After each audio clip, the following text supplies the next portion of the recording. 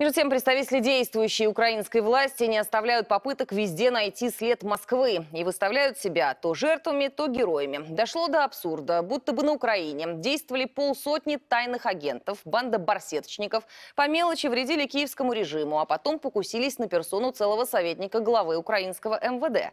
Фэнтези-детектив украинских спецслужб изучил Юрий Липатов. Диверсанты ходили кругами по Киеву целую неделю. Кругов было, как выяснили потом специалисты СБУ, примерно два неровной окружности. Один у жилого дома депутата Г, другой у места его работы, здания Верховной Рады. Диверсанты были хорошо подготовлены, поэтому очень опасны, о чем после их задержания объявил представитель Службы безопасности Украины. Они э, готовились к убийству, э, начиная от э, их достаточно э, глубоком э, глубокой подготовки, связанной даже проведению э, скрытых переговоров между собой, заканчивая подготовки э, взрывного устройства. Несколько дней эти двое мужчин слонялись рядом с парламентом, непринужденно куря напротив входов и выходов, рядом с припаркованными автомобилями депутатов и чиновников. Что же их выдало? Почему оперативники СБУ стали снимать их на видео? Это не был парашют, волочившийся за спиной, как в классическом анекдоте про шпионов и Штирлица. Это, возможно, были провода, Наружка в рамках слежки включила прослушку. И вот на переговорах двух диверсантов сквозь фоновый матерок и заторможенную речь стали проступать явные очертания преступного намерения в отношении депутата Г. Первая задача диверсантов – выяснить, где же он все-таки работает. Хай начальство скинет на номер машины и марку, и место работы. А вот это из той же прослушки СБУ. Звонок куратору. Обращаются не по форме, мягко говоря, зато сообщают срочную и важную информацию. Смотри, братан, вот там такая хрень. Там по домам парки. Два въезда, два выезда. Два хода по-разному. Обратной стороны. Обращение «братан» навело следователей СБУ на мысль, что звонили туда, где знают значение этого слова.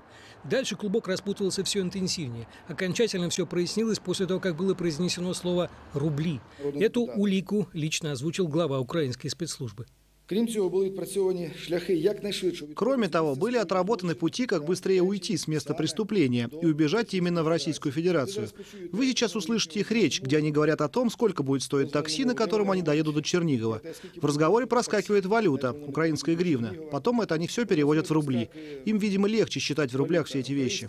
Теперь, когда все прояснилось, осталось только спасти депутата Г. Тем более, что заторможенные голоса диверсантов в эфире уже не стесняясь обсуждали, куда разбегаться после. Я тебе всего час дал времени, ну два.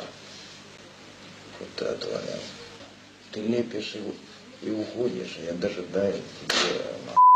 Первым узнал, что он спасен сам депутат Г, который сообщил об этом в Фейсбуке, после чего и выяснилось, что это никто иной, как советник главы МВД Геращенко Антон, известный своей активнейшей борьбой в интернете буквально со всем, что угрожает или еще только собирается угрожать Украине. Геращенко немедленно созвал пресс-конференцию и, как говорится, нанес ответный удар, объявив, что вскрыта большая сеть диверсантов, которые засланы из России, чтобы расшатывать положение в стране методом совершения разнообразнейших, самых неожиданных относительно такой масштабной цели преступлений. Э, летом 2016 года на территории западных областей Украины начался внезапный всплеск ограблений автомобилей. Люди останавливали машины на заправках, в достаточно видных светлых местах. На них нападали разбойники, бандиты, разбивали стекла, резали колеса, забирали барсетку. Человек находился в состоянии шока. Барсеточников арестовали, посадили в СИЗО в городе Ровно. Ну а в СИЗО, рассказал Геращенко, нашлись патриотичные граждане, которые преступников, пытавшихся сеять панику на западе Украины, убедили какими-то своими патриотическими методами всей душой посотрудничать со следствием. То бишь признаться честно, что они диверсанты, заброшенные из России. Была отобрана группа из 50 лиц, как правило, резко антиукраинских настроений. Российские спецслужбы их обучали тому, как уметь следить за людьми незаметно – их обучали стрельбе. Их собрали, вывезли в Подмосковье и сказали, что, дорогие друзья, вы же граждане Украины, давайте вы вернетесь в Украину вместе со своими семьями и будете осуществлять задачи по дестабилизации ситуации в стране. Геращенко, благодаря гиперактивности в Фейсбуке, вообще-то сейчас считается одним из лучших аналитиков украинских спецслужб. Недаром же он советник главы МВД Авакова. Его анализ текущих криминальных событий оказался мгновенным. Россияне проводят масштабную спецоперацию, используя представителей криминала, которые, как назло, все оказались вдруг антиукраински настроенными. Вот и покушавшиеся на самого аналитика задержанные диверсанты тоже оказались рецидивистами. У одного три ходки, у другого две. Так было и в Ровно, где убили бывшего охранника СИЗО, мобилизованного ранее и отправленного воевать в Донбасс. Убийца, рецидивист и диверсант. Особенно же изобретательными оказались диверсанты Херсонской области. Там они поджигали входные двери патриотам с умыслом сеять панику. Это группа из нескольких граждан Украины. Подчеркиваю, в основном для всех этих заданий выбирались граждане Украины, э, как правило, ранее судимые э, и с явно антиукраинской направленностью, пророссийского, э, скажем так, настроя. Так вот, эти граждане Украины э, получили задание после вербовки их российскими спецслужбами Российской Федерации поджигать э, двери квартир. В частности, они подожгли э, 31 декабря, то есть в новогодний вечер, э, дверь в квартиру мэра города Керхус- Херсона Николаенко Владимира Васильевича. То, что на самом деле происходит, граждане Украины прекрасно знают и без аналитики Геращенко.